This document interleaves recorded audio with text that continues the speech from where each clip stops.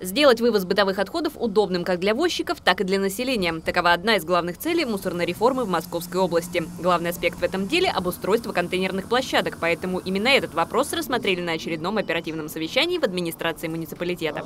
В 2019 году на территории городского округа отремонтированы 25 контейнерных площадок. По словам представителей органов власти, это еще не конечный результат. Администрации удалось сэкономить средства с текущих контрактов, а также получить дополнительное финансирование, что позволит до ноября этого года привести к единому стандарту 66 площадок в нашем округе. И мы планируем еще до, а, до ноября отремонтировать еще 41 площадку. Это 6 в, на территории Огутнева, Турбино, Гребнева, 20 в Щелково, 6 в Мойно, 9 в Загорянском. Уже формируются задачи на следующий год. В планах установить 35 новых контейнерных площадок, 25 из которых будут располагаться в частном секторе, где сегодня вопрос вывоза мусора востребован больше всего. Региональный оператор отказался от пакетированного сбора, поэтому установка централизованных мест для сбора отходов просто необходима. Сейчас администрация занимается поиском источников финансирования для проведения работ.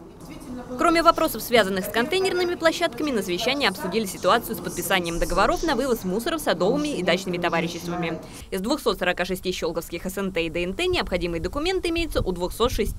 40 председателей товариществ пока что требования федерального закона не соблюдают. У 27 не получилось правильно заполнить транспортные файлы, что затянуло процесс подписания соглашения с Хартией. Остальные пока пытаются сделать все возможное, чтобы необходимый по закону документ не подписывать.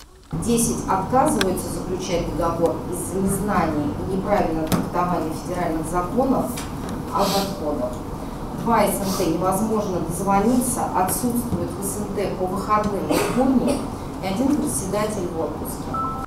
Товарищества, которые пока не слышат требований закона, находятся в Трубино, Медвежьих озерах, Гребнево и Щелково. Больше всего СНТ-нарушителей в Огуднево. Здесь необходимые договоры отказываются заключать 14 председателей дачных садовых товариществ. По словам представителей администрации, избежать наказания за игнорирование законных требований не удастся. Нарушителей ждут штрафные санкции в размере от 100 до 250 тысяч рублей. Четыре СНТ на территории округа, которые ранее отказывались от заключения договоров, уже привлечены к административной ответственности. После выплаты штрафов все необходимые документы председателями были подписаны. Мария Смирнова, Александр Оржевский, Щелковское телевидение.